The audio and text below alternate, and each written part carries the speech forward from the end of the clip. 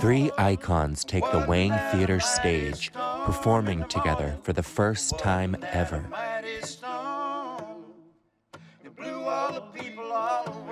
Don't miss Jonathan Edwards, Tom Rush, and Noel Paul Stookey in an unforgettable evening of performances.